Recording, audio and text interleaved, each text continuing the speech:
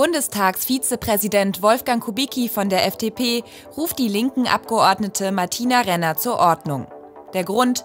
Die Politikerin trägt bei ihrer Rede gegen einen AfD-Antrag einen Antifa-Anstecker.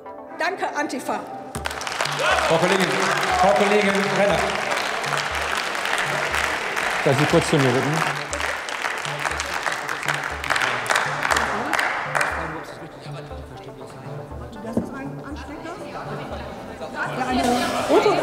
Liebe Kolleginnen und Kollegen, die Kollegin Renner trägt an ihrem Revers einen Sticker der Antifa. Ich erteile Ihnen dafür einen Ordnungsruf.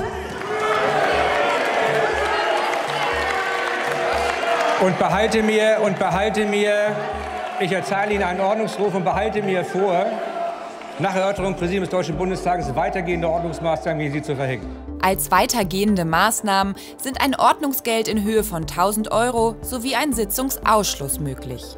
Die Linksfraktion protestiert daraufhin gegen Kubikis Entscheidung.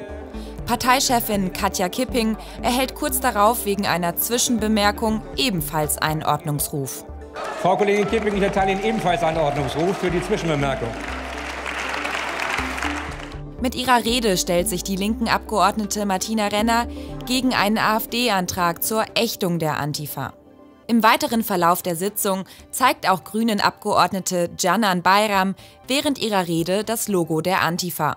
Es folgt eine Ermahnung durch Kubicki.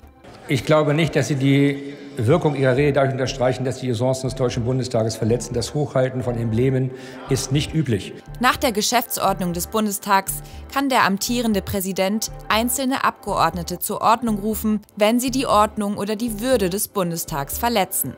Autonome Antifa-Gruppen werden vom Verfassungsschutz als linksextremistisch eingestuft. Die Begründung, Teile der Antifa arbeiten gegen staatliche Einrichtungen und deren Repräsentanten.